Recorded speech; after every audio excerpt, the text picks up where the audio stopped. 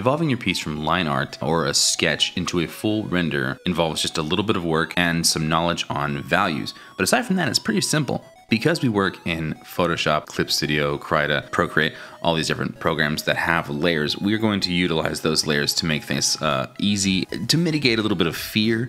Some people have some anxiety when messing with these things, so don't worry, your, your, your beautiful line art and sketches and drawings will still be safe, but we're going to just kind of move them past that point. And this can be a big challenge for a lot of people. And I can understand how that could be like a weird mental shift for some people. A lot of my pieces tend to start from the kind of rough stage, but I, I, never really mess with lines that much, specifically because I plan on them from the beginning to be a full render piece, much like from this to this. Now, there's still lines as you can see, but I wanted them to eventually be uh, this. I wanted, you know, I wanted it to be a full piece with very little line art. Now, some artists prefer to do a sketch, line art, then fill, lasso, render, that kind of stuff. And you would get your lasso tool up here where you're able to draw a shape and then simply just fill in parts of that shape to fill the void. Now, the way they would do that with this is they would lasso around the initial shape following the line art. And then often this could be with a soft brush or they can put down what's called flats. Now, flats work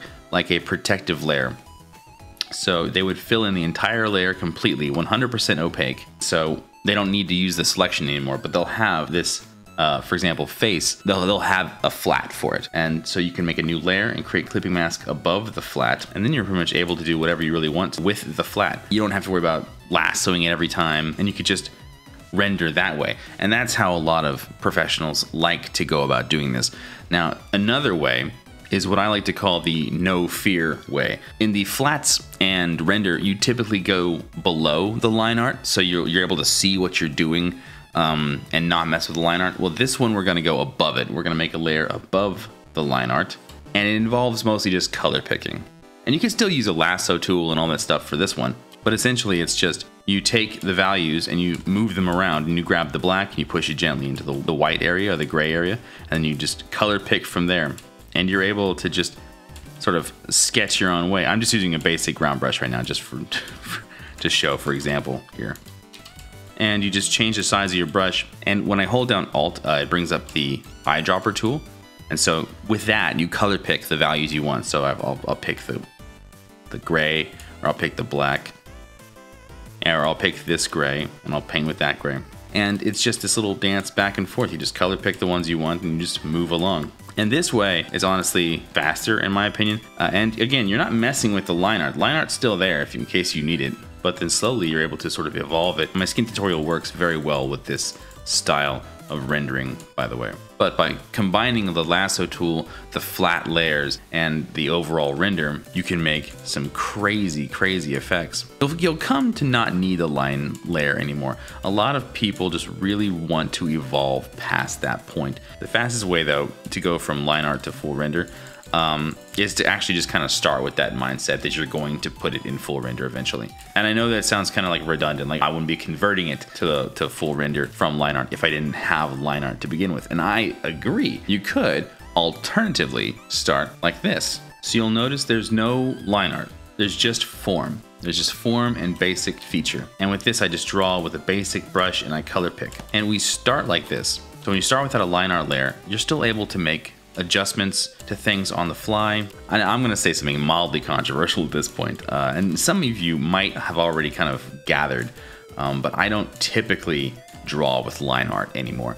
I found, and this is gonna sound kind of crazy, uh, I found it's a little bit of a waste of my time because eventually I prefer to make pieces like this. This is just pure like pushing values around, and that's honestly just all it is. But why would I spend time? Why would I spend hours and hours in during the day, during my work hours, drawing line art when I'm eventually going to bring it to full render anyway. And I know, a lot of people are like, well, I've, I've never drawn, I've never, you know, sketched without line art. Well, maybe, maybe, maybe, this is just a quick little maybe, maybe you should try. You will eventually move so fast towards a full render that uh, apparently, and I've been told this by industry professionals and colleagues, uh, that I am just ferociously competent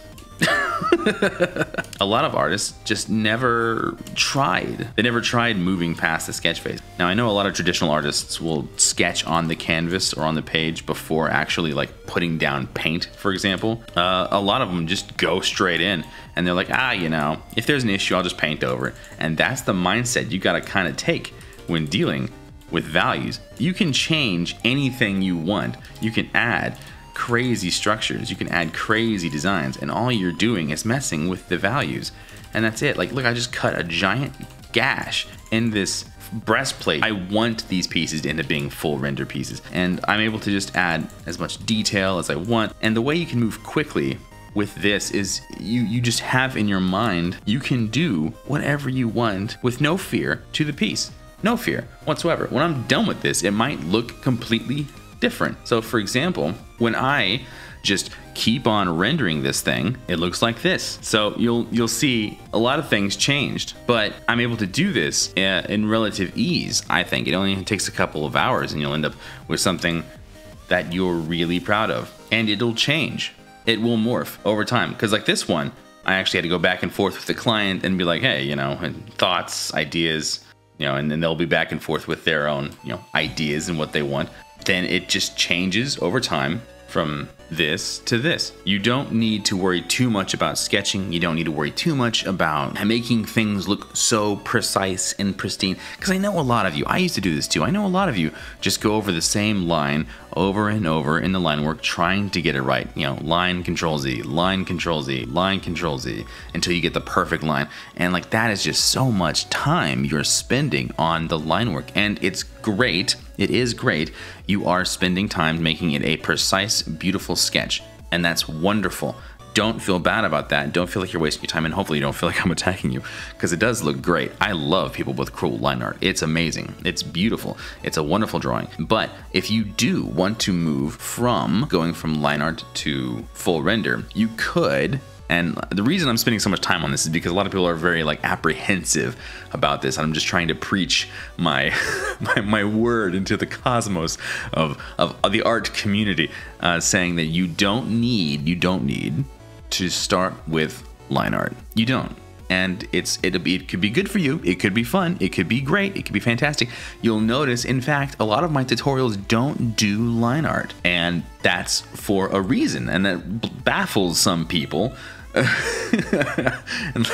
where's the sketch you know it's just it's just rendering it's just from the get you know from the from the beginning you start with a, a shape you start with a silhouette you start putting in stuff, you start just blending. And honestly, you can blend a piece from zero to 100% to finished, and with very little need for anything else. You know, honestly, for for this piece, I did use the lasso tool for like precise shapes on like the breastplate or the, the bit of the gauntlet here.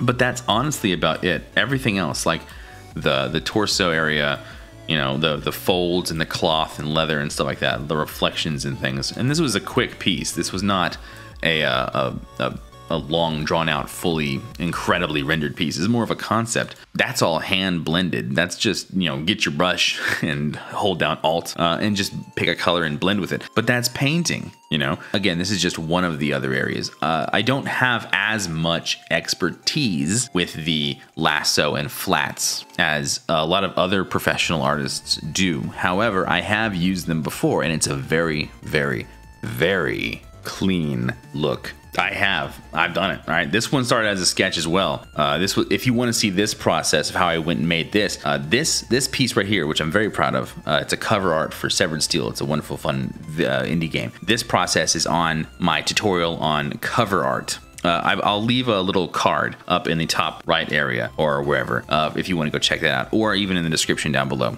Uh, but that process does go from sketch, you know, lassos and flats and renders and stuff to this finished product. And this is a piece I did for Bungie, uh, and they have an in-game event, and they they wanted me to paint the winners. I I used. You'll notice how clean everything. Like let me, let me zoom on this a bit. You'll notice how clean everything looks. Like the, the edges are very clean. Everything looks very nice, very very presentable, very pristine, uh, and that's because I did use the, uh, the, the lasso and the flats and all that stuff.